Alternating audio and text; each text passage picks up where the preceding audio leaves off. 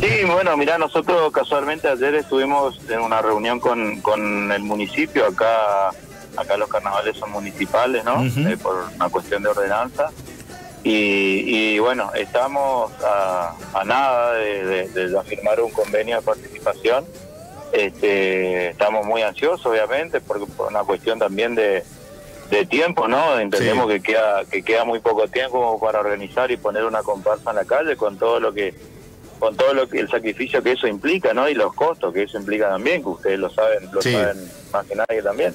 Entonces, bueno, estamos estamos en eso, eh, nos reunimos ayer eh, y bueno, está, estamos cerquita de firmar, si Dios quiere, eh, esta semana, viernes ya se, se estaría firmando el convenio ya está medianamente acordado todo. Eh, así que nada, como les dije, ansioso y bueno, esperando que, que pasen los días para poder firmar y seguir trabajando tranquilo, ¿no? Fede, eso en el lenguaje... Que la incertidumbre jode, ¿viste? Eh, ese lenguaje carnavalero que estamos hablando es que todavía nos, están poniendo muy de acuerdo, qué está faltando allí, porque como vos decís, ya los tiempos están encima y bueno, hay que organizar fechas, todo, todo. ¿Qué, qué, cuál es la... qué, están, qué está pasando que falta todavía para lanzar... Y mira, en, en, principio lo que lo que dilató bastante, eh, obviamente que esto en todos lados pasó por una cuestión sanitaria, ¿no? Eh, que, que, se dio eh, a nivel mundial, por supuesto, ¿no? Que por ahí hacía hacía con que no, no, no se pueda proyectar porque no sabía qué es lo que iba a suceder. Primero pasaba por ahí la cuestión. después, bueno, cuando se empezó, cuando empezó la apertura de las actividades, de los espectáculos, bueno, empezamos a, a conversar ¿no? en, qué carnaval queríamos y, y cómo, ¿sí? Eh, ahora la cuestión eh, pasa por, por, una cuestión netamente económica, eh, que, que, bueno, llegamos a una especie de acuerdo económico con la municipalidad. Sí. Y, bueno, y estamos esperando solamente un par de ajustes que tienen que ver con, con, desembolso y demás. Eh, pero, pero bueno, de ajustarse eso, entendemos que dentro de unos días se estaría firmando el, el, convenio de participación. La fecha sería Pasa por una cuestión económica. Eh, ¿Cuatro noches como siempre o seis noches creo que tienen? Y no, nosotros, nosotros acá cuatro noches. Cuatro noches. El, canal de Paso de Siempre sábado, ¿no? cuatro noches. Sí, eh, nosotros eh, los últimos dos años, 2019 y 20, han sido viernes y sábados, viernes y sábados, o sea, dos fines de semana, ¿viste? Eh, ahora lo que se nos lo que se nos propuso es que sean tres fines de semana, serían tres sábados y un viernes, sábado, sábado y viernes y sábado, así sería sería el calendario. Y la fecha sería el último fin de semana de el último sábado de enero y los dos siguientes de febrero, así sería. ¿Va a haber competencia? ¿Se sabe eso? Sí. Ah, la pucha. Sí, nosotros, nosotros una de las primeras cosas que planteamos cuando, cuando nos empezamos a reunir y empezamos a, analizar qué tipo de carnaval se quería y cómo y de qué forma, eh, nosotros siempre estuvimos de acuerdo, eh, junto con, la, con las otras dos eh, instituciones, que es un y Tradición, que son las... Mm somos las del grupo las del grupo especial y después están las del grupo popular que son son seis comparsas eh, más barriales digamos. Eh, nosotros siempre coincidimos en que en que para nosotros el carnaval eh, tiene que ser una competencia con cosas nuevas con un enredo nuevo con un samba nuevo con con todo nuevo. No no no nunca estuvo en nosotros repetir el porque por ahí también nosotros eh, escuchábamos que en Corrientes se podía dar eso. Sí, eh, y, y no, no entendemos que no por una cuestión de que los mismos componentes se bajan al ser así. Eh, la misma gente se va no se queda en la ciudad se va de vacaciones prefiere prefiere hacer otra cosa antes de que invertir en el carnaval. Entonces podía para nosotros y a nuestro criterio ser contraproducente eso y, preferimos hacer un carnaval como siempre, obviamente con los limitantes que todos sabemos, económicos que hay, que las cosas están, están muy caras todos, por supuesto, eh, limitarnos a lo, a lo que podemos sacar, pero siempre compitiendo, ¿sí? Eh, así que bueno, en ese, en ese contexto se fue, se fue avanzando en algunas modificaciones del reglamento, de cuántas alegorías íbamos a tener este, y demás. Eh, pero pero sí siempre siempre pensando en, en, competir, que en esto quedamos. Tema que va a presentar Carumbé, ¿ya, lo tienen el, el, tema, digamos? Lo, Sí, sí, lo tenemos, pero no, como todavía no lo hemos dado a conocer por una cuestión de que el carnaval todavía no está confirmado, eh, no lo no lo dimos a conocer, así que por esta le debo, pero bueno, espero el llamado dentro de un par de semanas. Gabriel Gonzalo, Gabriel Gonzalo va a diseñar. El Gaby va a ser un colaborador nuestro. Eh, el, Gaby es un chico de, la casa, su papá Alberto es Claro, claro, vicepresidente. Este año él está con otros proyectos personales que le va le va a impedir eh, estar, digamos, como, como, como él quisiera. Pero más allá de eso, él, hace parte del grupo artístico de Carumbé. Claro. Eh, pero no, no va a estar 100% ligado en lo que es eh, carnavalesco y diseño, ¿no? ¿Y la batería volvió...? chica, otra, chica que también es habitual del carnaval de Corrientes, es una chica de Ituzaingó, se llama Camila Chaine. Ah, eh, ella creo que desfiló en Araverá, me parece, un par de años. Así sí, sí, sí. ella se va a encargar, ella es la que está al, al frente de, lo que es la parte de diseños y, bueno, y con, un grupo obviamente de, trabajo, con la dirección de carnaval del Círculo Carumbé, bueno, que, que Gaby es uno de los, de los integrantes, así que un grupo lindo, la verdad, muy contento. Perdón, ¿y en la batería te preguntaba, ¿volvió el Chule?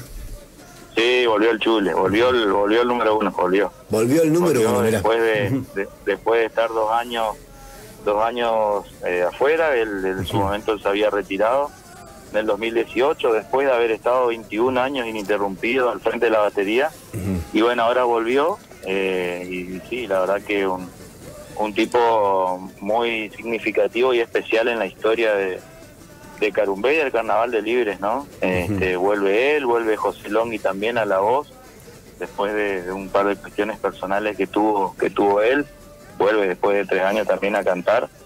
Así que bueno, estamos con el equipo, el equipo completo. Un año emotivo, porque aparte, después de todo lo que pasó, viste, dos años sin carnaval y volver con toda esta gente encima, me imagino cómo estarán ustedes.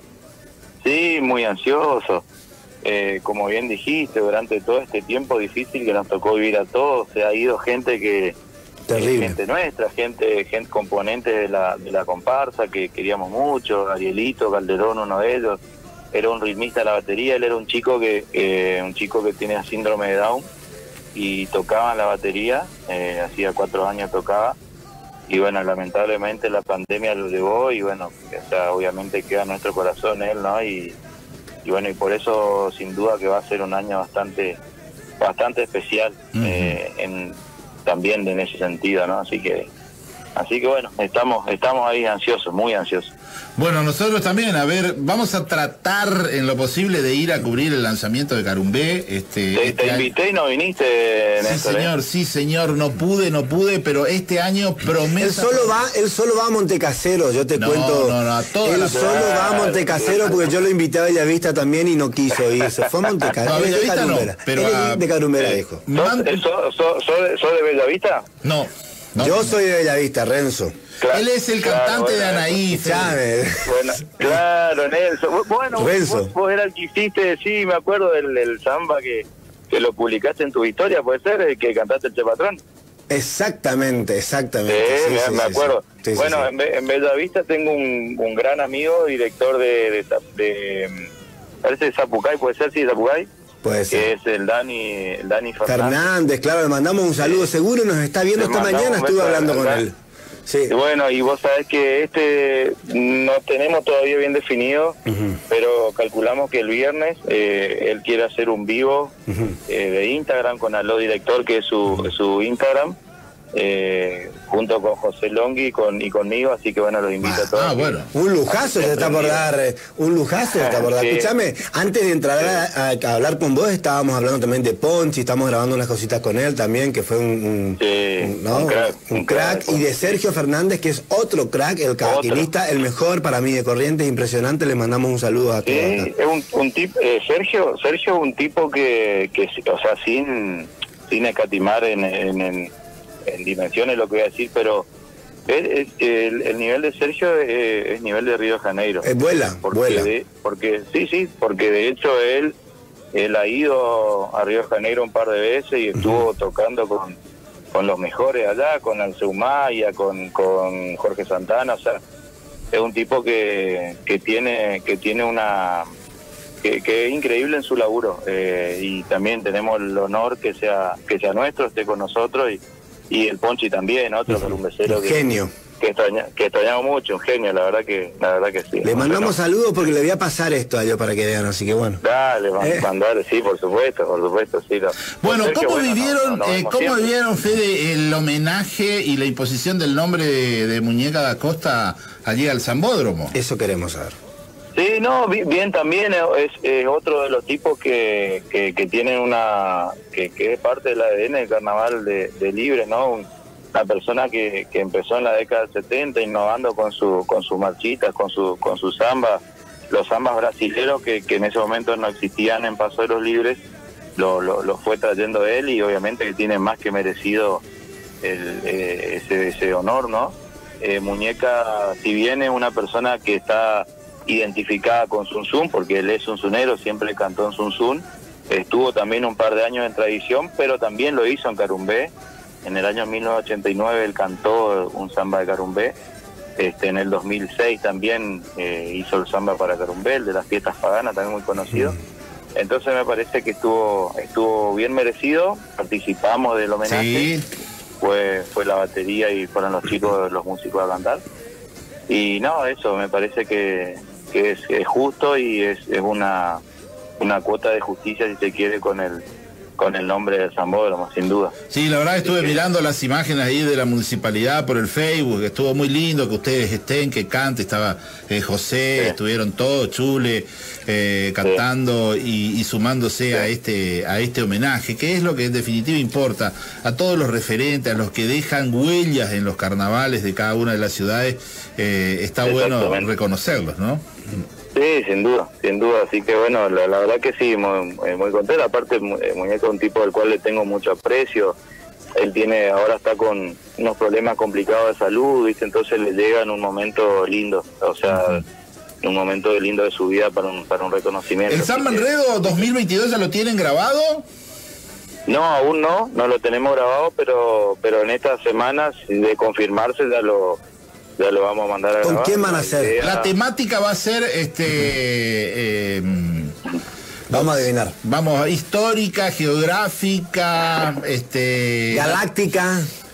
Un poco galáctica, sí, sí, un poco, un poco, un poco loca, sí, sí, ah, sin duda. Ah, una fantasía, fantasía, como se dice, ¿no? Sí, claro, exacto, exactamente. Le voy a mandar otro saludo también, Mariana, a Noelia Rovira, mi vecina de Bellavista, que debe ser la única portabandera que tiene una música ¿eh? propia. La, la, la Noe, la Noe, bueno, aparte de ser la mujer del Chule, eh, es eh, una, una persona, una amiga, eh, cada cual quiero mucho, eh, sí, obviamente, mandarle un beso a la nueva, una genia, otra de las grandes del Carnaval de Libre. Por supuesto. Este, fue una de las que, de las que en el, en el rubro que le toca, que es Mestre de Porta Bandera, eh, siendo joven, eh, fue una de las que de las que le dio una impronta que después se siguió a lo largo del tiempo y hoy es uno de los rubros más importante de la comparsa, así que te puede hacer ganar o perder un campeonato. Bueno, esperamos, esperemos que vengan a presentar el Carnaval de Libre a Corrientes. Tienen olvidado. Sí, fuimos, mirá, no vienen acá, viejo.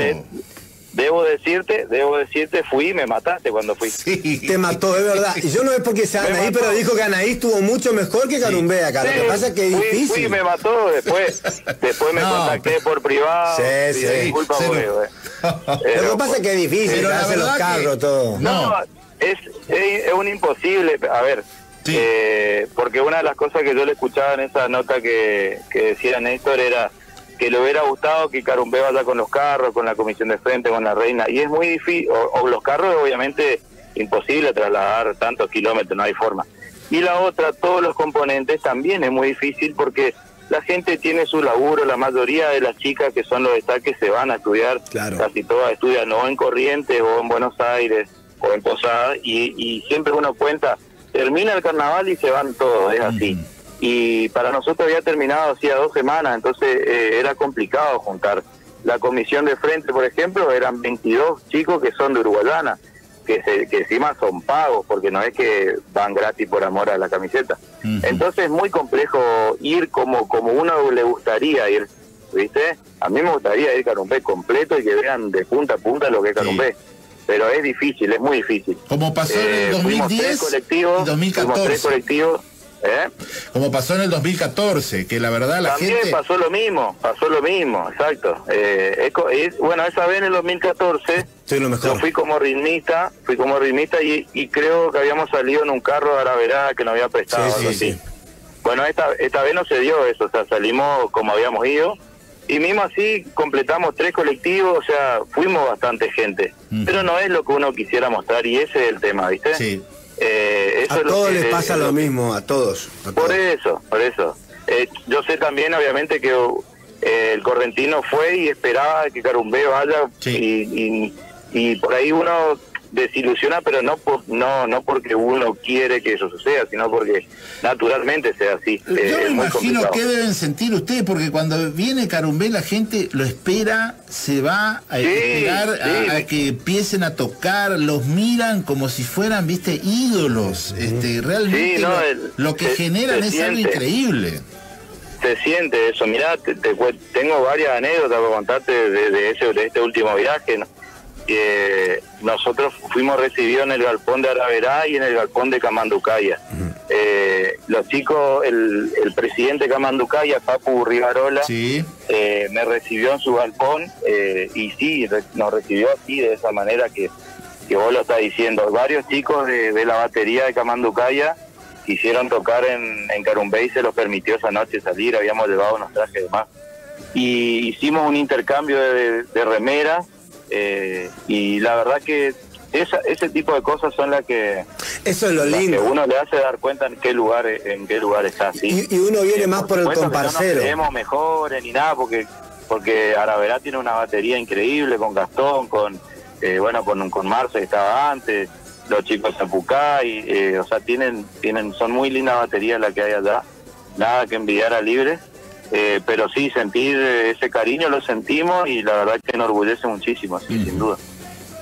Bueno, Fede, muchísimas gracias. La verdad, queríamos hablar con vos. Estamos a la expectativa. Me mandás un mensaje y al otro día ya hacemos la entrevista y anunciamos el Carnaval de Paso de los Libres 2022. ¿Eh? Dale, dale, Néstor. Y, te espero libre, te espero libre. Este año. En la coronación, si Dios quiere, en el carnaval, te esperamos acá. Vamos a ir a hacer imágenes. Vamos, carnavales al día quiere tener registro de imágenes de toda la provincia y de los maravillosos carnavales. Vos sabés que, te cuento un dato, hay eh, más de el 98% de las ciudades de Corrientes tienen carnaval. Entre los más grandes, los más chiquitos, los más, este, el que riegan la, la calle un poquito y desfilan. Bueno, Corrientes es carnaval, te guste, no te guste, es así, digamos, es. impresionante. Así es.